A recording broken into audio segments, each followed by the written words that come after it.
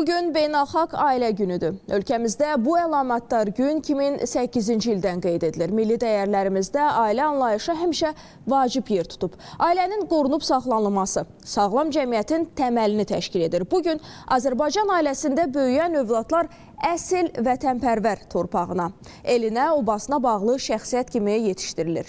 Böyüyür və ümumiyyətlə böyüklərə də hörmətlə yanaşılır. İnsanpərvərlik kimi nəcib keyfiyyətlər qazanılır. 30 illik işğala son qoyan 44 gün ərzində canı, qanı bahasına torpaqları azad edən Azərbaycan ailəsinin övladları idi. Şanlı vətən müharibəsində əldə edilən zəfəri məhz şəhidlərimizə, qazilərimizə və onları yetişdirən ailələrə borçluyuq. Bunlar haqqında danışacaq. Studiyamızın qonağı Ailə, Qadın və Uşaq Problemləri üzrə Dövlət Komitəsinin Ailə Məsələləri Şöbəsinin baş məsləhətçisi Səmra Əliyevadır. Səmra xanım, salam, xoş gəlmişsiniz. Sabahınız xeyir olsun. Təşəkkür edirəm. Mən də sizləri salamlayıram. Təşəkkür edirəm. İlk öncə bütün Azərbaycan ailələrini Beynəlxalq Ailə Günü münasibəti ilə ürəkdən təbrik edirəm. Bütün ailələrə möhkəm təməl arzu edirəm. Ümumiyyətlə Səmra xanım biz hər zaman vurğulayırıq ki, bütün o tərbiyə, dünya görüşü, hər şey ailədən başlayır və bir növ e, düzdür, bəzi hallarda e, fərqliliklər də olur, fərqliliklərlə də qarşılaşırıq, amma e, bu günün əhəmiyyəti barədə istərdim danışaq. Həm tarixi, həm də ümumiyyətlə Azərbaycan üçün ailə və ümumiyyətlə bizim mental dəyərlərimiz üçün ailə bir fərqli yanaşılır, fərqli təqdim olunur. Bax istərdim bu mövzulara toxunaq. Buyurun. Təşəkkür edirəm Vəfa xanım. İlk öncə bu günün tarixi barədə məlumat vermək istərdim. Birləşmiş Millətlər Təşkilatının 1993-cü il 20 sentyabr tarixli qətnaməsinə əsasən əsasən 15 may tarixi Beynəlxalq Ailə Günü kimi tanınıb və 1994-cü ildən etibarən bu gün bütün dünyada qeyd edilməyə başlanıb. Belə e, bu il məhz bu günün 30 illiyi tamam olur və bir çox dövlətlər bu günü, bu əlamətdar günü qeyd edirlər. Həmçinin ölkəmizdə də siz qeyd etdiniz 2008-ci ildən etibarən komitəmiz tərəfindən bu günlə bağlı, əlamətdar günlə bağlı müxtəlif tədbirlər, silsilə tədbirlər və sonda e, ailə festivalı, ailələrimizin e, iştirakı ilə böyük bir festival festival həyata keçirilir. Ümumiyyətlə bu günün qəbul edilməsində əsas məqsəd nə idi? Bütün cəmiyyətin diqqətinin ailə məsələlərinə yönəldilməsi. Çünki ailə cəmiyyətin təməlidir, özəyidir.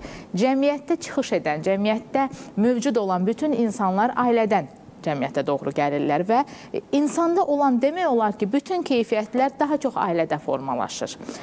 Buna görə də BMT-nin əsas məqsədi bu günün yaradılmasında əsas məqsədi bütün dövlətlərin fikrinin ailə məsələlərinə yönəldilməsi və dünyada ailə siyasətinin yaxşı yürüdüldüyü ölkələrin siyasətinin təbliğatı idi. Eyni zamanda ölkəmizdə də bu gün nəyə görə qeyd olunur? Yenə də bütün dövlətin, cəmiyyət üzvlərinin fikrinin ailə məsələlərinə yönəldilməsi və ölkəmizdə digər digər dövlətlərdən fərqli olaraq mövcud ailə dəyərlərinin, milli mənəvi dəyərlərin gələcək nəsillərə daşınması, onların təbliğatı, düzgün təbliğatı, eyni zamanda ailələrin asudə vaxtının birgə səmərəli təşkil olunması, ailələrin bir-biri ilə tanış olması, gözəl vaxt keçirməsi. Yəni bu festivalları, bu tədbirləri keçirməyimizin bu günlə bağlı, əlamətdar günlə bağlı məqsədi qısacası belədir. Biz hal-hazırki dövrdə elə bir dünyada yaşayırıq ki, demək olar ki, bir çox ölkələrdə dəyərlər dəyərsizləşib. Nə xoş bizə ki, bizim ölkəmizdə çox gözəl milli dəyərlərimiz var, ailə dəyərlərimiz var və bizim xalqımıza xas ailə dəyərləri bizim Azərbaycan ailəsini möhkəm bir ailə edir. Hansı ki, bizim ailə modelimiz bütün dünyada örnək bir ailə modelidir və çox xoşdur bizə ki, ölkə başçısı da hər zaman öz çıxışlarında qeyd edir ki, bizim ailə dəyərlərimiz dəyişilməzdir, mütləq gələcək nəsillərə ötürülməlidir etməlidir və gənclərimiz ailə dəyərlərini bilərək böyüməlidirlər, tərbiyə olunmalıdırlar. Səmra xanım, siz ailə siyasətindən danışdınız. Ailə siyasəti deyəndə əslində o söz birləşməsi nəyi ifadə edir, nəyi nəzərdə tuturuq? Deməli, onun ilk öncə onu qeyd edim ki, e, ailə siyasəti dövlətin prioritet istiqamətlərindən biridir. Ölkə başçısı tərəfindən, istər onun qərar və sərəncamlarında, fərmanlarında, istər digər sənədlərdə ailə məsələlərinə böyük önəm yetirilir. Ailə siyasəti deyəndə biz ailələrin rifahının yaxşılaşdırılması, sosial vəziyyətinin yaxşılaşdırılması, onların gələcəyə daha düzgün addımlarla addımlaması üçün e, qərara alınan məsələləri nəzərdə tutuluq, atılan e, addımları nəzərdə tutuluq. Hansı Hansı ki, dövlətin məqsəd və prioritetlərinə çatmaq üçün müəyyən sənədlər qəbul olunur və bu sənədlərin demək olar ki, bir çoxunda ailələr nəzərə alınır. Ailə, Qadın və Uşaq Problemləri üzrə Dövlət Komitəsi ölkədə ailə siyasətini həyata keçirən mərkəzi icra hakimiyyəti orqanıdır. Təbii ki, bu e, siyasəti həyata keçirərkən bizim qarşımıza e, müəyyən məqsədlər qoyulub və biz o məqsədlərə riayət edərək bu siyasəti həyata keçiririk. Bütün ailələri nəzərə alırıq. Onların e, maarifləndirilməsi istiqamətində, sosial rifahının yaxşılaşdırılması istiqamətində lazım olduğu təqdirdə digər müvafiq qurumlarla birlikdə biz bu siyasəti həyata keçiririk. Ölkə üzrə istər paytaxtda, istər bölgələrdə müxtəlif müxtəlif tədbirlər, layihələr, silsilə görüşlər, əhalinin müxtəlif təbəqəsi ilə. Çünki ailə yalnız valideynlərdən ibarət deyil və yaxud da yalnız uşaqlardan ibarət deyil. Ailənin bir çox üzvləri var, nənələr, babalar, yaxın qohumlar. Biz təkcə kiçik ailələri deyil, geniş ailələri də nəzərdə tuturuq. Biz çoxuşaqlı ailələri nəzərdə tuturuq və ə, e, hər kateqoriya üçün belə deyək, hər yaş kateqoriyası üçün bizim xüsusi tədbirlərimiz olur, görüşlərimiz olur. İstər tanınmış şəxslərin ailələrlə görüşü olsun, istər ə, e, onların maarifləndirilməsi üçün beynəlxalq təcrübənin öyrənilməsi olsun, onların belə deyim, hər hansı bir istiqamətdə məlumatlandırılması üçün mütəxəssislərin təlimləndirilməsi olsun. Yəni e, çalışdığımız sahə olduqca genişdir. Çünki 10 e, milyondan çox Azərbaycan əhalisinin 1 milyondan da çox ailəsi var və hər bir ailənin fərdi bizim cəmiyyətimizdə çıxış edir. Sağlam mühitdə böyüyən fərd sağlam gələcək üçün bir işarədir, nümunədir. Ona görə də bizim məqsədimiz şəxslərin, fərdlərin ailədə sağlam mühitdə böyüməsidir, uğurlu gələcəyə addım atmaq üçün. Səmrə xanım, siz ümumilikdə görülən işlərdən danışdınız. Son illərdə konkret olaraq dövlət tərəfindən hansı e, layihələr və hansı tədbirlər həyata keçirilib bu istiqamətdə? Mən e, bu istiqamətdə komitəmiz tərəfindən həyata keçirilən layihələri vurğulamaq istərdim. Elə dünən keçirdiyimiz ailə festivalı, hansı ki artıq silsilə halını alıb və 15 may Beynəlxalq Ailə Günü ərəfəsində mütəmadi olaraq bu festival həyata keçirilir. Festivalı biz daha öncələr ailə bayramı şəklində keçirdirdik. E, son illər ərzində ailə festivalı adı altında keçirdirik və festivalımızda bir bir çox ailələr iştirak edirlər. Dünənki e, festivalımızdan da siz kadrları ekranda görürsüz. E, bizim dəvətimizlə sadəcə 500-dən çox insan gəlmişdi, amma festivalımız açıq olduğu üçün biz orada daha çox e, belə deyək əhalinin olduğunu müşahidə elədik və olduq e, müşahidə elədik və olduqca xoş təəssürat yaratdı bizdə. E, bundan başqa festivalımızla yanaşı mən komitəmiz tərəfindən həyata keçirilən layihələri də vurğulamaq istəyərdim. Məsələn, bu yaxınlarda biz növbəti ay ərzində bölgələrimizdə çempion ailələr adı altında bir layihə həyata keçirməyi düşünürük. Artıq planlanmışıq Regional İnkişaf İctimai Birliyi ilə bərabər ailələrin asudə vaxtının səmərəli təşkili üçün, sağlam həyat tərzinin təbliği üçün ailələrimizlə müxtəlif idman yarışlarının keçirilməsi nəzərdə tutulur. Eyni zamanda onların sonda mükafatlandırılması nəzərdə tutulur. Komitənin e, çox uzun zamandır həyata keçirdiyi bir layihə də var. Nümunəli ailələrin, uzun ömürlü ailələrin, çox uşaqlı ailələrin təbliğatı və tanınması məqsədi ilə biz onlarla görüşlər həyata keçiririk. Onlardan aldığımız müsahibələri, e, daha çox uzun ömürlü ailələrin, ailə başçılarından aldığımız gənclər üçün nəsihətləri öz sosial şəbəkə hesablarımızda paylaşırıq. Müəyyən hallarda televiziya ekranlarında paylaşırıq bu müsahibələri. Yəni komitə tərəfindən müxtəlif istiqamətdə işlər görülür. E, bir layihəmizi də vurğulamaq istəyirəm. Olduqca böyük maraq var həmin layihəmizə. Atalıq məsuliyyətinin artırılması, ailədə e, valideynlər arasında uşaqlara qarşı məsuliyyətin düzgün bölünməsi istiqamətində biz bölgələrdə son olaraq e, Zəngilan rayonunun Ağalı kəndində atalarla görüş keçirildi, mütəxəssislərin iştirakı ilə. Yəni layihələrimiz olduqca genişdir. Həm ailə, həm qadın, həm uşaq komitənin adından da göründüyü kimi hər üç sahəyə böyük diqqət ayrılır. Geniş layihələr həyata keçirilir. Yəni ümid edirəm ki, layihələrimiz də davamlı olacaq. Əhalinin də bu layihələrə geniş marağı var. Səmrə xanım, o atalar haqqında olan layihə kifayət qədər marağımı cəlb elədi. Çünki e, ümumiyyətlə tək e, deməzdim Azərbaycanda, ümumiyyətlə dünyada belə bir düşüncə var ki, e, məsuliyyət deyəndə tək ana yada düşür və ana xatırlanır. Yəni hər şeyi ananın üzərinə qoymaq və məsuliyyəti tam olaraq ona yükləmək də düzgün deyil və ümumiyyətlə bax bu sonuncu danışdığınız layihə haqqında biraz ətraflı sual verəcəm ataların iştirakı, ümumiyyətlə fəallığı necədir? E, prosesi necə qəbul edirlər? E, bəzi hallarda bəlkə iştirakdan çəkinən atalar da olur. Bəli. Onlarla həm söhbət olan zaman hansı problemlər, hansı nüanslar ortaya çıxır? Ümumiyyətlə e, çox e, gözəl bir məqama toxundunuz. Olduqca əhəmiyyətli bir layihədir.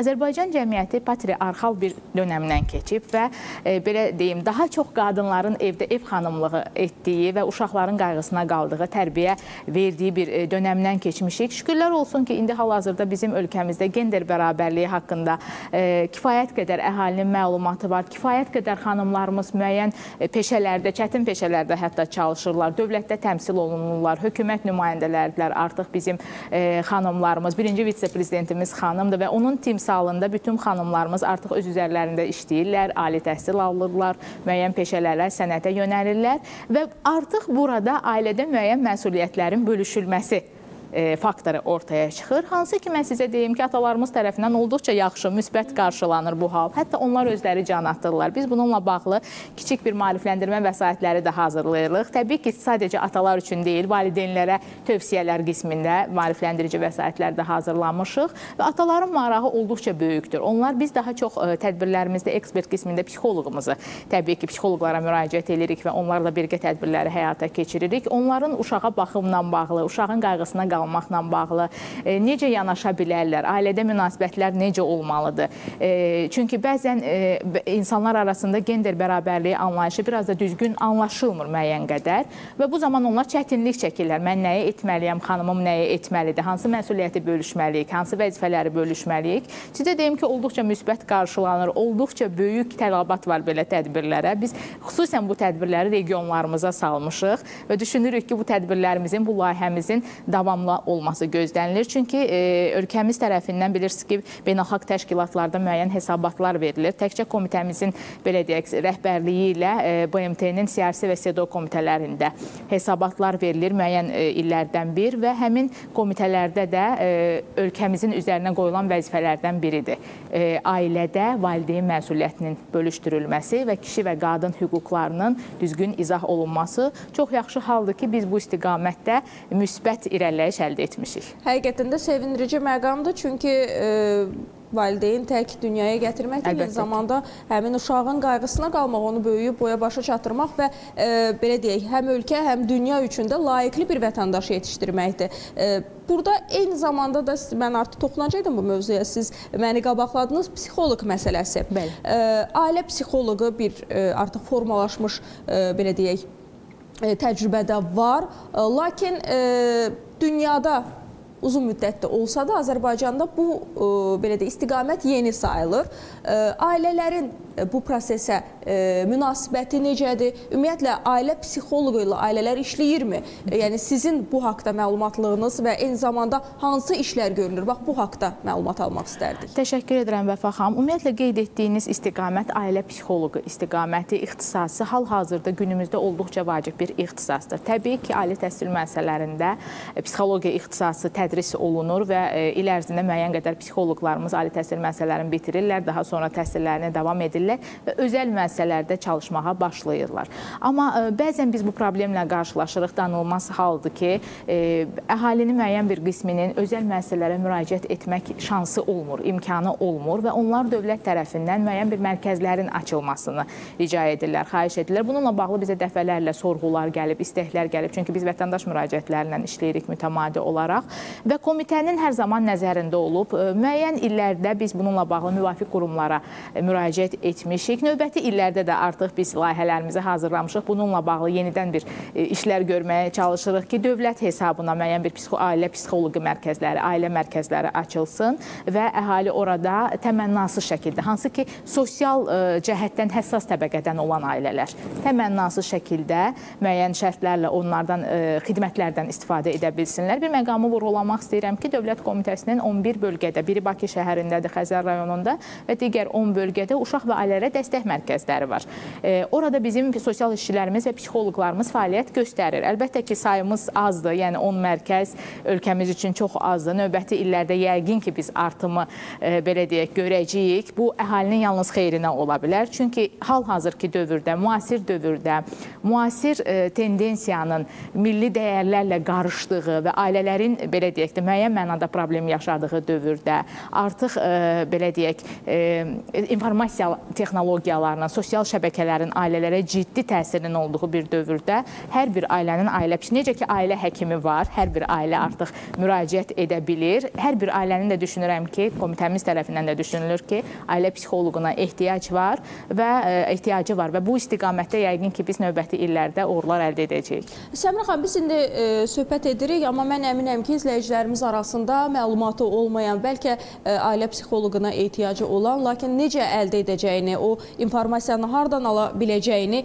bilməyən izləyicilərimiz də mütləq ki var. Hı -hı. İstərdim bir növ ə, həmin mərkəzlər haqqında və yaxud da ə, elə vurğuladığım kimi ailədir və onun hansısa bir problemi var və ailə psixoloquna ehtiyacı var ki, dövlət tərəfindən təmin oluna bilər bu. Hı -hı. Amma bu haqda məlumatsızdır. Bax, o haqda məlumat verərdiniz ki, necə eləsin, hara getsin, kimə müraciət eləsin və ə, e, ümumiyyətlə bu proses nə qədər çəkir? Hı -hı.